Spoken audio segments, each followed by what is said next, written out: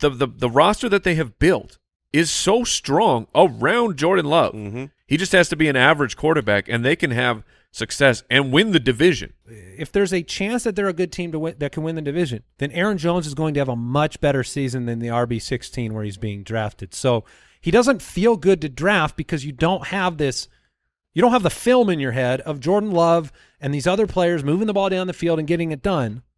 But if they're middle of the pack, he will outperform RB 16. Yeah, I, I I believe that actually almost every single one of the Packers players are going to outperform their ADP. The only one that is a little scary is Christian Watson. Aaron Jones, top 12 running back for years, and he's being drafted as the running back 16.